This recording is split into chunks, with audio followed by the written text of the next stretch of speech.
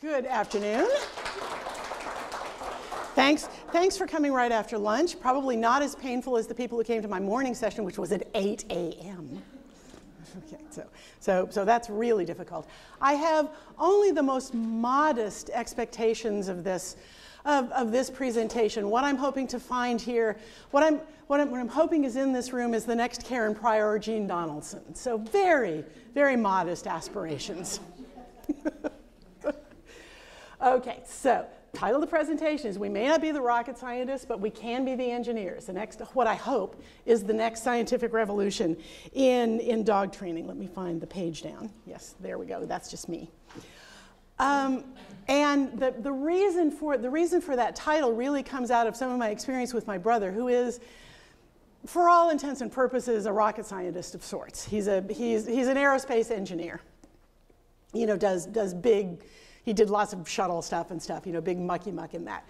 And he was constantly telling me stories of the, of, of the difference between what the physicists would tell them would work, you know, in terms of, in terms of aerospace, and what the engineers actually had to design to do to make something practical.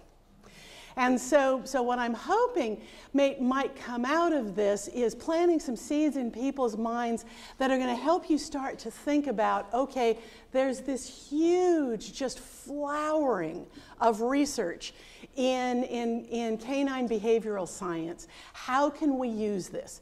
And newsflash, guys, the scientists aren't going to tell you. They have no idea.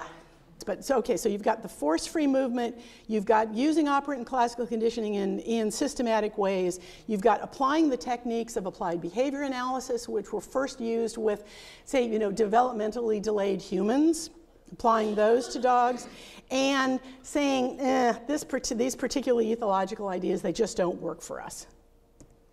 Okay, but, but, there are limitations, particularly in pet dog training. I would say there are fewer limitations in working dog training, in things that are, or, or even competitive dog training. Okay, because, because the person at the other end of the leash is different from, from the usual pet owner. But I don't know about your practice, but, but in my practice, I found, you know, quite often at a, at a, fairly, at a fairly high rate pet owners who didn't want to become technicians. And this stuff is techie, okay? They just wanted things to work better with their dogs. Okay? And it's, it's not, it, you, you, you certainly expend a lot of energy trying to make these things more, more intuitive, but it's difficult with, the, with, with, with, your, with your average person. Yeah. So it turns out that, that dogs share, you know, many cognitive abilities with people. Now, obviously, there are limitations to that. You know, dogs don't write books.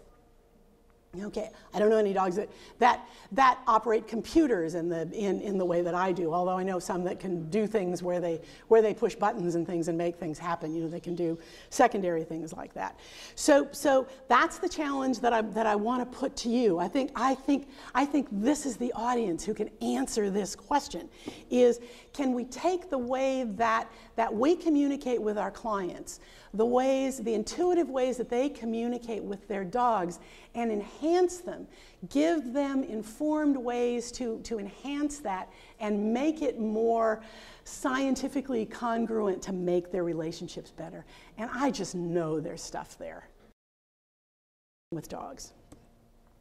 Okay.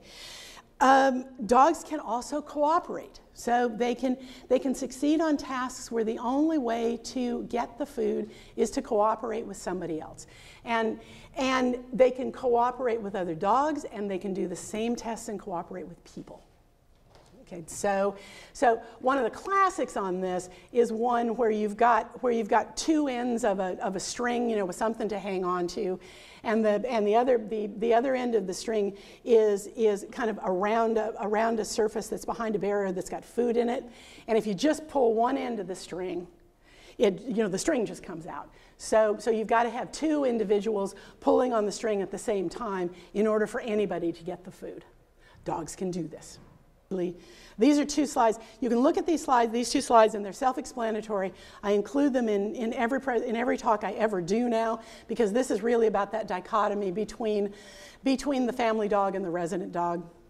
I, I have believed for a very long time, and now the science supports me, that the single most powerful thing that you can do if you're working with a client who doesn't interact with their dog very much, if whether it's whether it's crated in the basement all the time or living out in a kennel, is just get the freaking dog in the house. If you can find a way to get the dog in the house, a whole lot of stuff is going to get a whole lot better without, without much more technical intervention on that, because the dogs will then have an opportunity to figure out, to sort out those relationships. Hugely, hugely powerful. Okay, I'm, I'm, only, I'm only a couple of minutes over. You're welcome.